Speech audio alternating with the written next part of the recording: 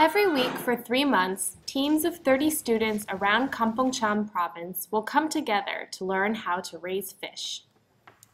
In the process, the children learn practical livelihood skills to help supplement family income and also learn to work together, conduct research, and think critically about the world around them.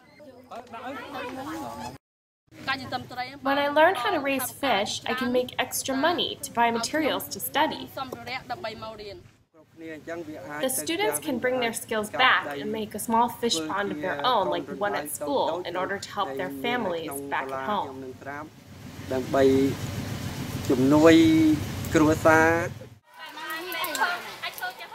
Schools around Cambodia are bringing life skills courses in topics like cooking, motorcycle repair, and sewing into the everyday curriculum. Our school offers a lot of different life skills. The students like this, and they come to school more, and they're very happy to participate. ESCUP's Life Skills program places importance on empowering children to choose their own topics of study. For many, it will be their first opportunity to make independent choices about what they will learn. This course is known as IPM, or Integrated Pest Management. IPM was originally developed for farmers as an environmentally sustainable way to control pests and maintain crop yield without the use of expensive and harmful pesticides. Over 80% of Cambodia's population relies on agriculture to sustain their livelihood, and the majority of the population live in rural areas. ESCUP's program brings IPM techniques in vegetable growing, rice production, and fish and frog raising to primary and secondary schools across Cambodia.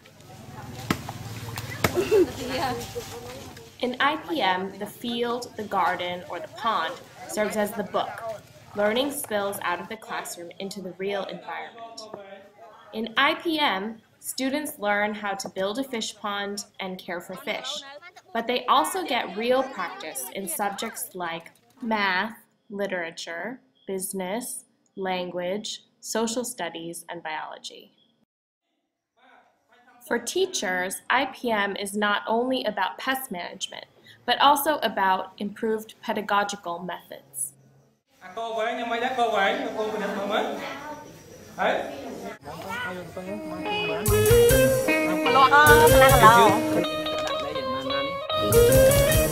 គ្រប់គ្រប់គ្រប់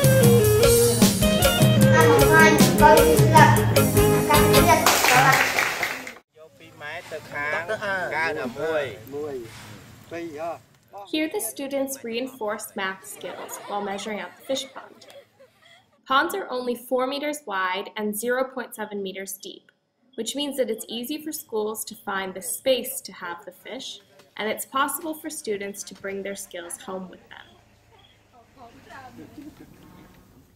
Around Go Secondary School, the fish raising program has spread into the local community, where many families are now setting up their own fish ponds. Now we have knowledge and good ideas, so we can go and disseminate these ideas to the people in the village to help poor families make some extra money. I was interested in the fish after I heard them discuss it at the school, so I spent just a little bit of money to get started with the fish pond. I think we're very lucky to get this information.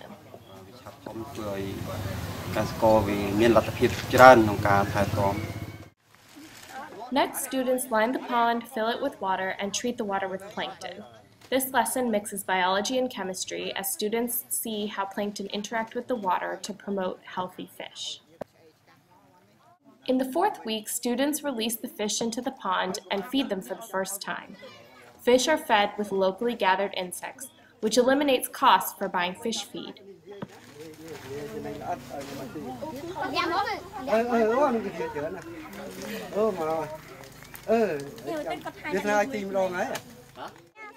After the fish are released, students check up on them weekly, taking measurements to analyze their health and growth, and making decisions to adjust feeding or change water to improve their yield. After three months, students can harvest around 28 kilos of fish. Some schools celebrate the students' accomplishments with a community celebration. After that, the process can begin again with another group of students.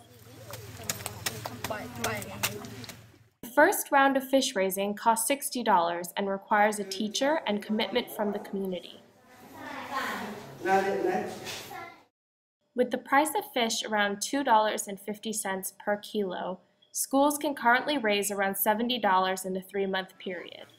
After the first round, the only cost is for baby fish at $10 per 200 fingerlings. So, the $70 is more than enough to keep the program going without additional capital.